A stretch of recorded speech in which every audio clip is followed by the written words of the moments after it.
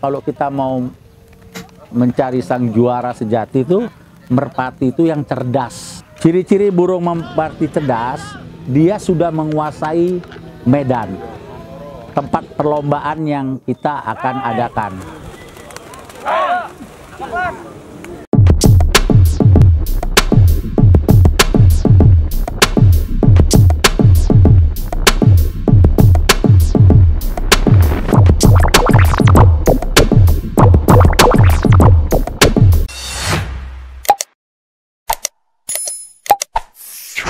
Assalamualaikum warahmatullahi wabarakatuh.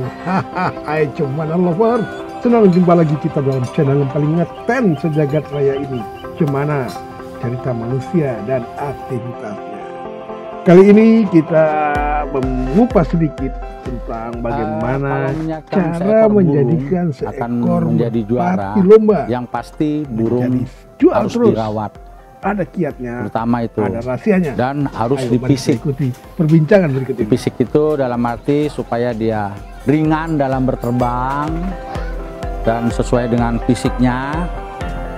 Eh, itu biasanya kalau malam mau menjelang tidur dia dikasih seperti direbusin air sirih Iya, sama serai. bisa mencoba iya, diusapkan ke kakinya, ke badannya supaya dia biar anget. Rutin itu biasanya kalau pemain-pemain burung. Dan jamunya juga, Pak. Ramuan-ramuan ya eh, dari mulai serai, jahe, bermacam-macam apalagi itu. Itu biasanya mereka ditumbuk atau diparut, direbus, dikasih madu, telur, fisik burung itu biasanya seperti itu. Supaya stamina burung itu nanti bisa lebih cepat lebih semangat. Ya burung itu kan tidak hanya cepat tapi kan juga bagaimana caranya si cewek ini betina yang dicari itu. Ya itu terutama gini pak. Itu kalau mengenai betina itu biasanya warna baju yang dia cari. Ahaha. iya itu harus makanya banyak orang yang berbagai-bagai tim dia bajunya beda-beda.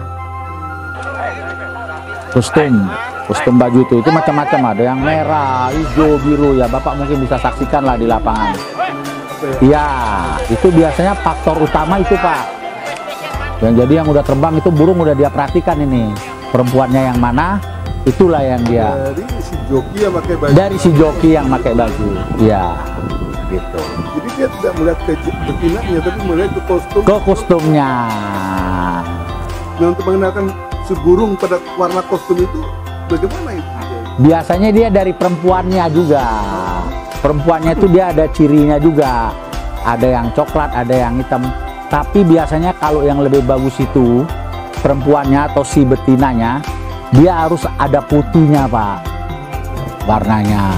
Yang kanan apa yang kiri jadi pada saat digeber itu burung sudah melihat si jantannya Nah, kalau kalau burung itu mengenal si, si betina itu berapa lama itu? Nanti dia sudah kenal betina dia pas sasarannya kepada betina Oh itu dari pertama dia giring, giring itu dalam arti lulut, itu udah tahu dia si betinanya pak. Ah, ah. itu ya dua minggu udah lulut, udah tahu dia, udah tahu dia si betinanya. Betina itu kan berarti jadi jadi pacar jadi istri jadi Istrinya. itu bertelur apa enggak nantinya? Betelor pak, ya? Seminggu sekali dia pasti betelor, rutin itu betelor ya, tidak bisa tidak, betelor dia. Nah nanti sudah betelor, itu udah nggak bisa diterbangkan lagi, dia harus sudah istirahat. Ah, dan dia tidak dia tidak mencari pak, tidak giring dia kalau udah betelor. Nah, nggak bisa dijodohkan dengan betina lain loh nggak bisa. Nggak bisa Ah, ya, ya, iya. Merpati itu sebenarnya pak, kalau kita mau mencari sang juara sejati itu, merpati itu yang cerdas. mencari merpati yang cerdas Mencari merpati yang cerdas untuk menjadi juara. itu mudah atau sulit Itu sulit pak. ciri-cirinya merpati cerdas apa? Ciri-ciri burung merpati cerdas, dia sudah menguasai medan. tempat perlombaan yang kita akan adakan. Karena lapak ini kan seluruh Indonesia di mana-mana ada. Dan biasanya dia kalau udah terlalu mapan, maksudnya sudah terlalu apal, dia itu jarang mau masuk ke Apa?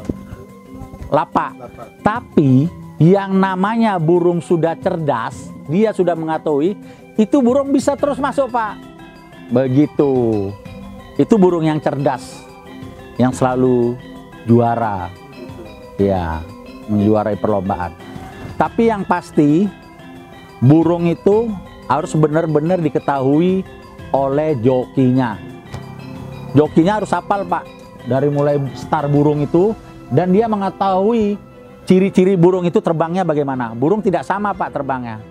Ada yang cepat, ada yang lambat, ada yang Berapa besar sih biayanya untuk, untuk menjadikan seekor burung bisa jadi juara sampai kok bisa ada yang laku sampai satu setengah m, dua m, tiga m. Kalau biaya ya lumayan besar juga Pak kalau untuk ngerawat burung. Ngasih makannya, ya, ramuannya, bayar jokinya, pemiaranya. Itu kalau dihitung-hitung Pak, satu burung bisa sampai habis satu setengah sampai 2 juta. Satu burung per bulan. Besar. Ya, besar biayanya tuh perawatan burung harus ada uang pak kalau nggak ada uang nggak bisa main burung kolong karena semuanya biaya dari mulai perawatan bayar joki pendaftaran perlombaan itu harus ada uang dan kepuasan mereka itu dalam bermain itu pak apabila burung dia sudah nyampai finish juara itu udah puas sekali dia udah puas. Ini memang orang pemain burung pemain burung ini Pak. Burung kolong ini orang-orang yang hobi dan senang dia. Itu tidak mudah untuk untuk berarti untuk menciptakan membentuk seekor burung menjadi juara terus ya. ya oh nggak mudah Pak. Nggak mudah. Burung yang sudah yang siap untuk berlomba itu siap berapa? Burung yang sudah siap berlomba itu biasanya tiga dua tahun sampai empat lima tahun. Itu burung udah hebat itu Pak